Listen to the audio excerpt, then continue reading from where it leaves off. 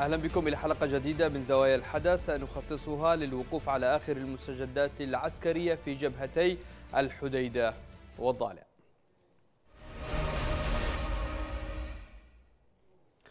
أعلن الجيش مقتل 47 عنصرا من الميليشيا في المعارك التي شهدتها الضالع. وذكر موقع سبتمبر نت أن مواجهات اندلعت عقب محاولة مجاميع من الميليشيا التسلل نحو مواقع في منطقة الحقب بدمت.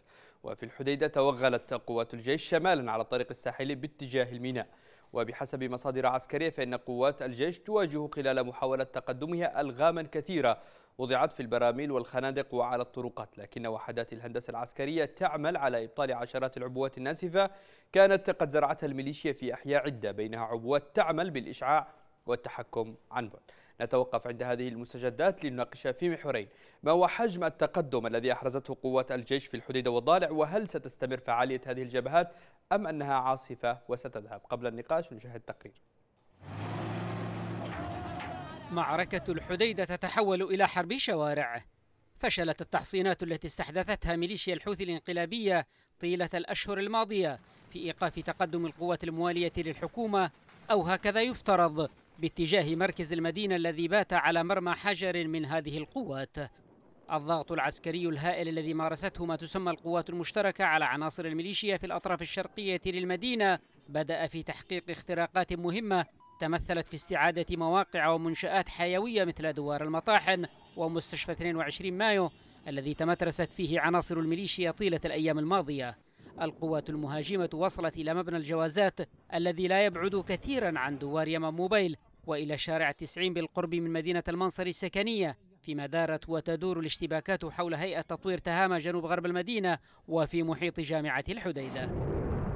لا يكف الطيران عن التحليق في سماء الحديدة وفي توجيه ضربات مؤثرة على مواقع وتجمعات الميليشيا في المدينة. حيث تفيد المصادر الميدانية بأن الطيران استهدف أكبر مركز لعمليات الميليشيا نجم عنه سقوط العشرات من عناصرها بين قتيل ومصاب. في طريق اندحارها من هذه المنطقة قامت الميليشيا بتفجير منارة مسجد مجمع إخوان ثابت وتفخيخه أيضا. بعد أن اتخذته طيلة الفترة الماضية مقرا لعملياتها على ما يبدو. السيطرة على دوار بالكامل والآن متقدمين والمباني الحديدة والمباني المجاورة لها وعلى القوات الحوثي الاستسلام وإلا سندخل لها بالقوة وإن شاء الله إلى داخل الجبال مرات العنوان الأبرز لمعركة الحديدة هو العدد الكبير من القتلى في صفوف الميليشيا والقوات الحكومية أيضا. وسط بيانات تؤكد أن العدد الأكبر من هؤلاء القتلى هم في صفوف الميليشيا والذين وصل عددهم بحسب وكالة الصحافة الفرنسية إلى 382 شخصا منذ اشتداد المعارك مطلع الشهر الجاري. وفي الأثناء تقوم القوات الحكومية بتفكيك العبوات الناسفة وتطهير مسرح العمليات من الألغام الأرضية التي زرعت بكثافة خصوصا في محيط المدينة وشوارعها الرئيسة. وفي ظل اشتداد المعركة في وسط مدينة الحديدة أعلنت مجموعة إخوان ثابت التجاري كبرى المجموعات الصناعية في غرب البلاد بأنها أغلقت المجمع الصناعي التابع لها الواقع عند الطرف الشرقي لمدينة الحديدة نتيجة تضرر منشآت المجمع وسقوط ضحايا من العمال والموظفين الأمر الذي يهدد مستقبل الآلاف من العاملين في منشآت المجمع. نبدأ النقاش مع ضيفنا من الضالع الرائد عادل الجرادي قائد مقاومة جبهة دمت. أهلا بك سيادة الرائد. يا مرحبا حيا. بداية لو تضعنا في صورة آخر المسجدات والتطورات في الجبهة لديكم جبهة دمت إلى أين وصلت المعارك؟ يا بسم الله بسم الله الرحمن الرحيم. الذين يقاتلون بأنهم ظلموا وإن الله على نصرهم القدير وثانيا نشكر قناه بلقيس على اهتمامها بجبهة مدينة الضالع. يا أخي نحن الآن على مسار الشمس يعني تفصلنا يعني بعض الشيء يعني قريه الحجب هي القريه الوحيدة التي تفصلنا عن يعني عن مدينه الدم وإن شاء الله نحن على في اتم الاستعداد في أعلى الجاهزين إن شاء الله في هذه الساعات القادمه أو الأيام القادمه على تحرير الدمس إن شاء الله. طيب ما هي المناطق التي تمت السيطرة عليها حتى الآن؟ آه المناطق التي يعني مناطق واسعة يعني من من قرية العيس إلى إلى يعني ربح إلى جبل ناصر إلى يعني سلسلة جبلية كبيرة إلى قرية بيت اليزيدي إلى وقرية الحجب هذه المسافة الشاسعة الذي صدرت يعني المقاومه الشعبية والجيش الوطني اعلى الانتصارات حتى استطاعوا ان يصلوا إلى الحجب.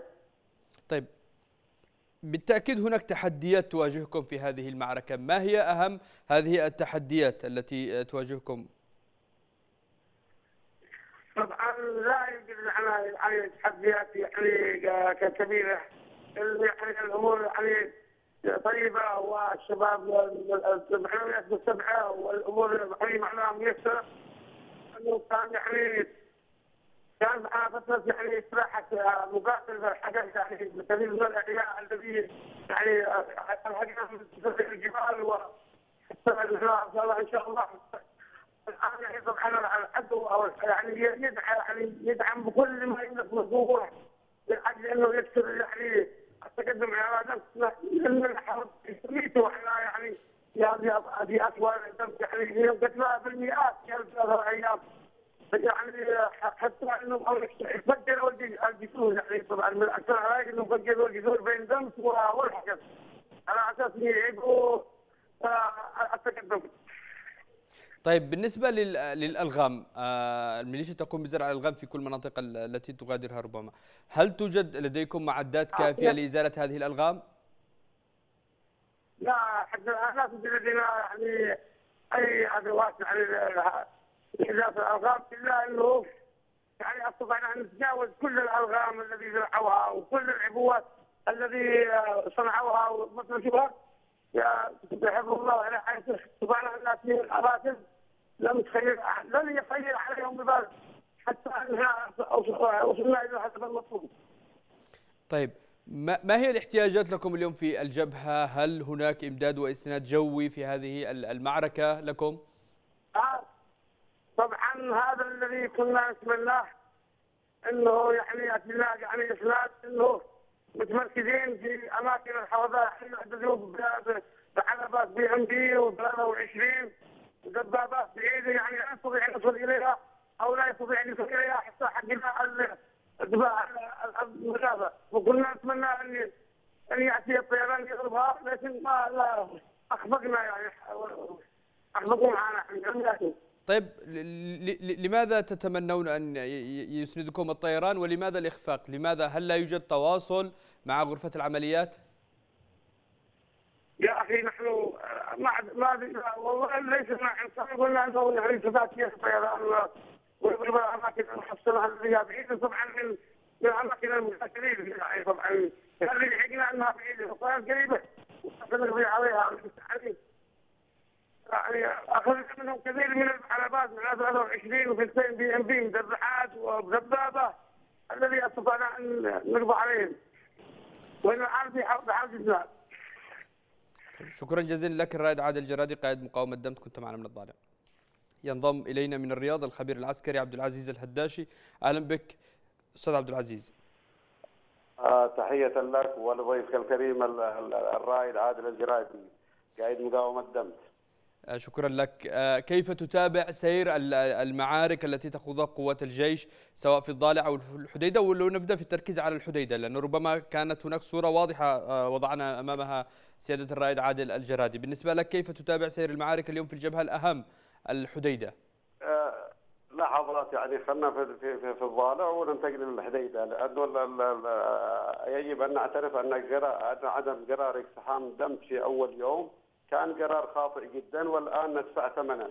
آه، طبعا المتحدث الكريم يعني آه، بصفته يعني جزء من الجيش لابد أن يدافع. آه، أقول لك أخي الكريم كان قرار وعبر قناتكم هذا وعبر وعبر من قناة ناشط بالتحرك في أول يوم للاستيلاء على الضالع. ولكن وكانت المدينة فاضية من الحوثة، لم يتم لم يتم استغلال حالة الصدمة والرعب لدى الحوثة وفر الكثير منهم إلى الرظمه. ولكن التساهل في دخول المدينة آه، لعدة ساعات ادى إلى أن الحوثي يأتي بقوات كبيرة جدا من من الرضمه ومن رداع ومن نادره ويستعيد المبادرة.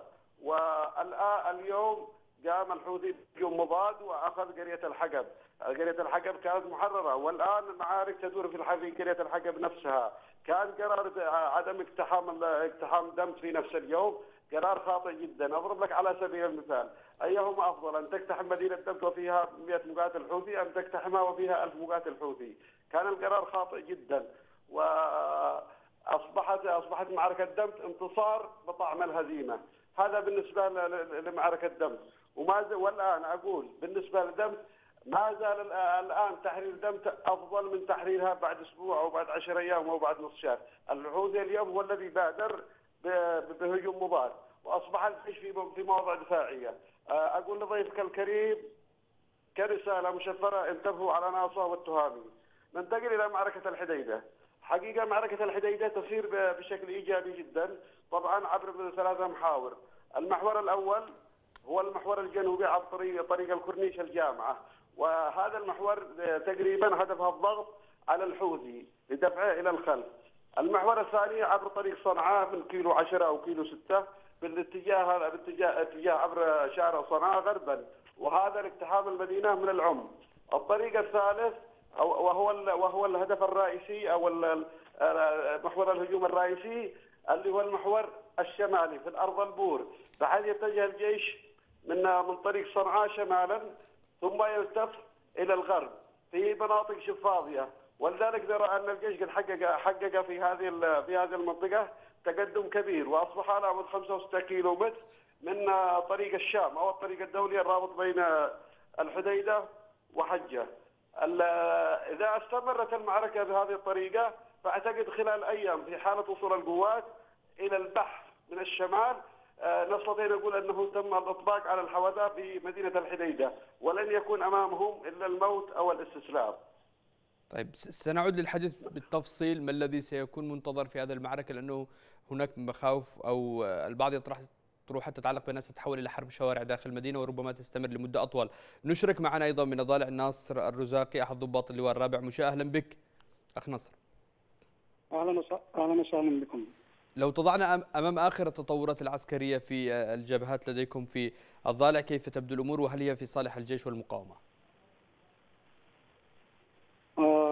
اولا نشكر قناة بلقيس على اهتمامها بجبهة مريس دمت وبجميع الجبهات التي يخوض فيها الجيش الوطني معارك شرسة مع ميليشيا الحوثيه الإنقلابية. اليوم تشهد جبهة مريس دمت أعنف المعارك وأشدها منذ بدايه إعلان العملية العسكرية لتحرير دمت جبان والشروع في تحرير محافظة اب. ميليشيا الحوثيه اليوم تزج بأفرادها إلى المحرقة. محاولة منها لتحقيق أي نصر إعلامي. الميليشيا تقوم بالقصف العشوائي آه لقرية الحرب بقذائف الهاون وال BM مما سبب النزوح لأغلب الأهالي آه أهالي المنطقة. والآن ما زالت المعارك على أشدها منذ منتصف ليل أمس الماضي آه على أطراف قرية الحقب وإن شاء الله يعني جيشنا الوطني يكبدهم الكثير من من الخسائر. طيب الخبير العسكري من الرياض عبد العزيز الهداشي يقول أن قرار المعركة في دمت كان قرار خاطئ في ظل عدم توفر إمكانية ودعم للمقاومة والجيش هناك. ما رأيك؟ عندما ندرك أهمية تحرير مدينة دامت والوصول إلى مدينة يريم ندرك أن القرار صائب بإذن الله لأن هذه المناطق هامة واستراتيجية.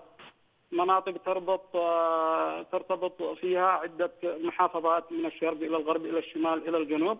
أيضا ستشكل رافدا قوي لدعم الجيش الوطني والدعم الشرعية وتحقيق الانتصار الذي هو مطلب الكل مطلب الشعب اليمني ومطلب يعني قيادة الشرعية ومطلب التحالف حتى طيب إذا مواقع مهمة ومنطقة مهمة واستراتيجية تلعبها في المعركة دمت.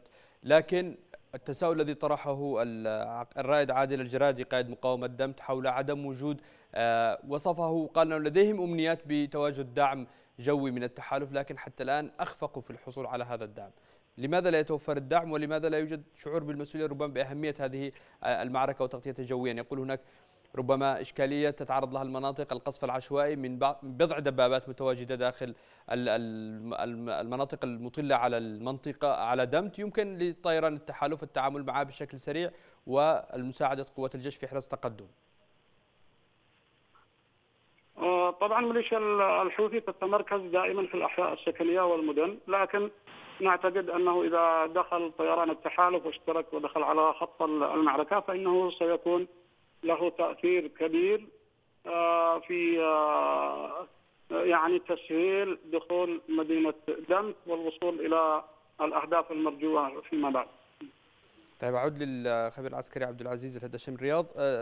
أستاذ عبد العزيز بالنسبة لل النقطة المطروحة الآن حول عدم تحرك بعض الجبهات. هل من المهم كتكتيك عسكري أن تتحرك كل الجبهات في ذات الوقت مع تصاعد المعارك أم التكتيك المعمول به الآن من قبل قوة الجيش والمقاومة هو صائب إلى حد ما ربما؟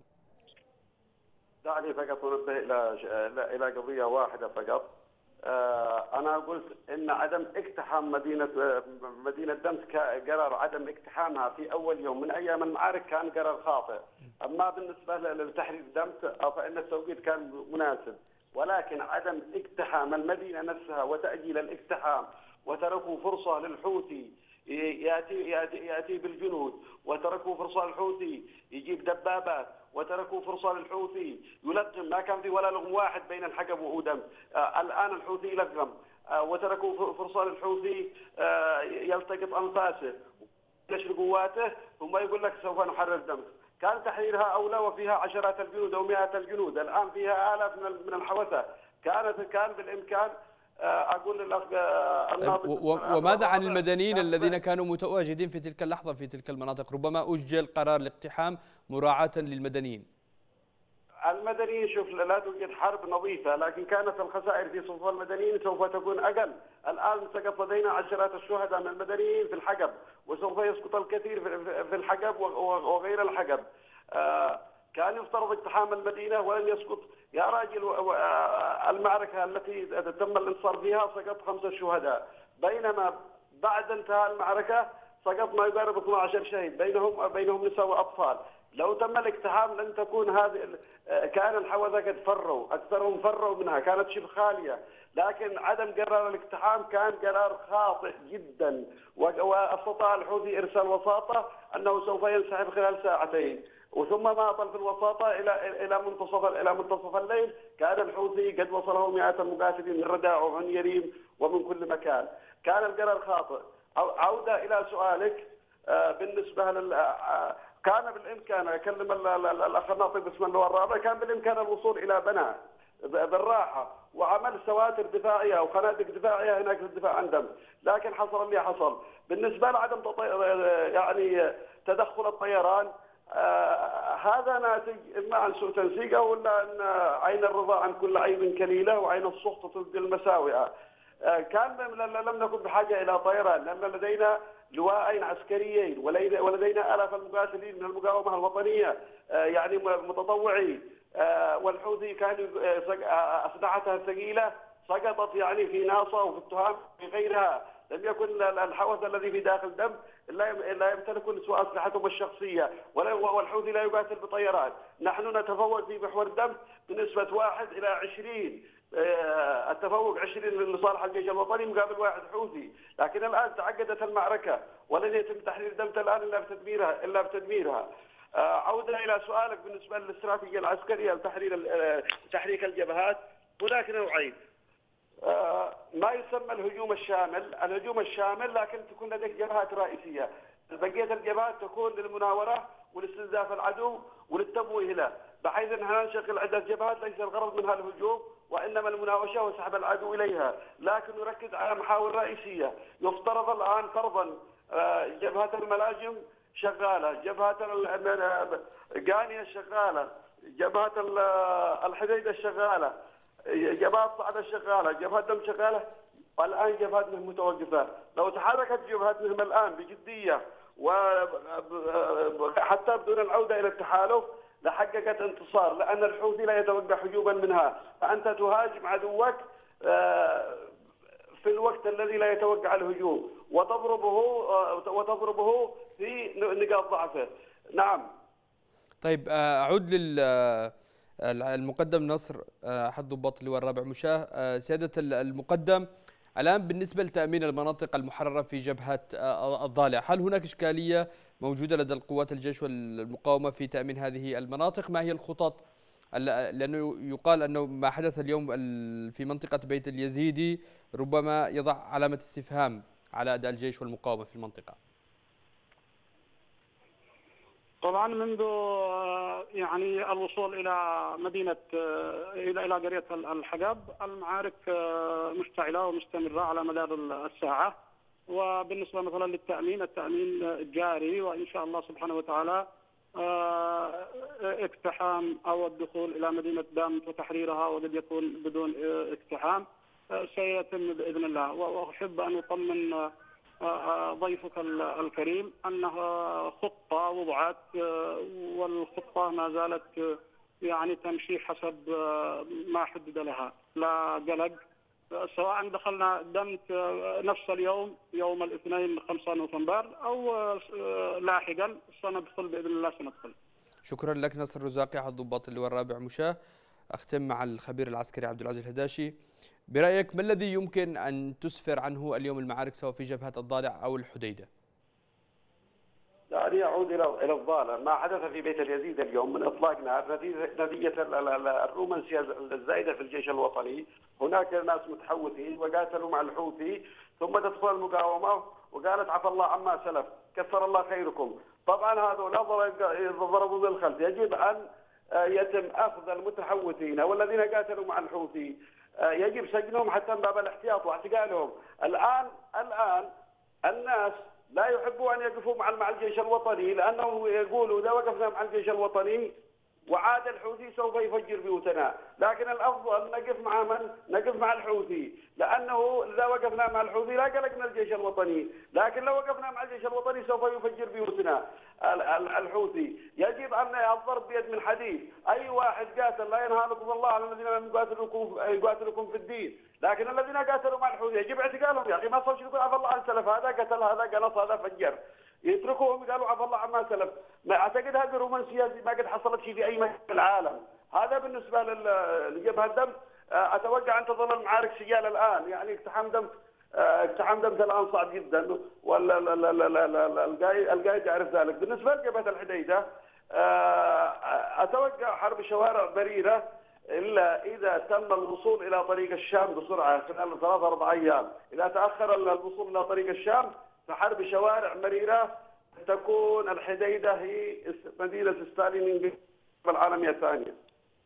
أشكرك جزيلا الخبير العسكري عبد العزيز الهداشي كنت معنا من الرياض وأيضا الشكر موصول لضيوفنا في هذه الحلقة من زوايا الحدث في الختام تحية طاقم البرنامج ومنتج حلقة هذا المساء زميل مهرب